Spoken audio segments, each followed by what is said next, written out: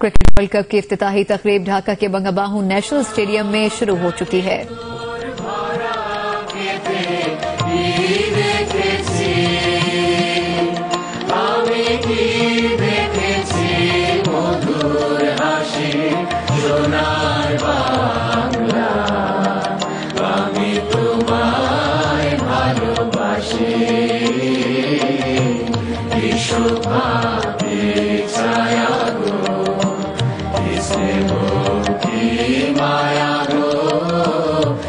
Jesus, we try to forgive.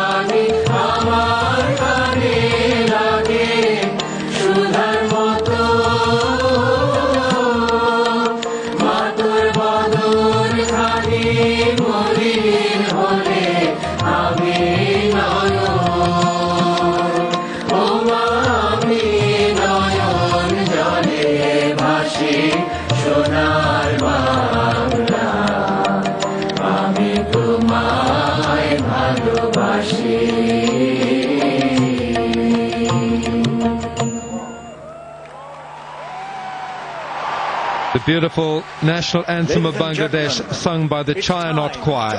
بنگلہ دیش کا قومی ترانہ بجایا گیا Bangabandhu.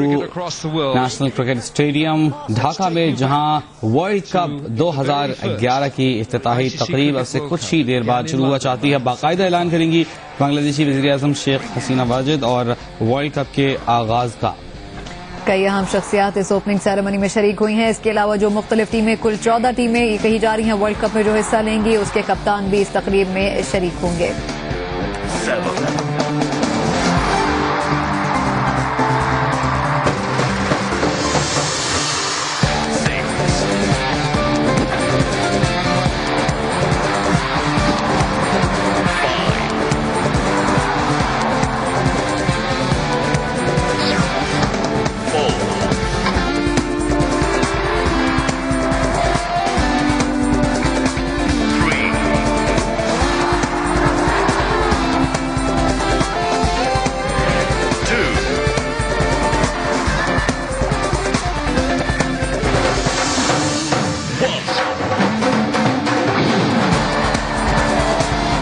Ladies and gentlemen, welcome to the 10th ICC World Cup 2011.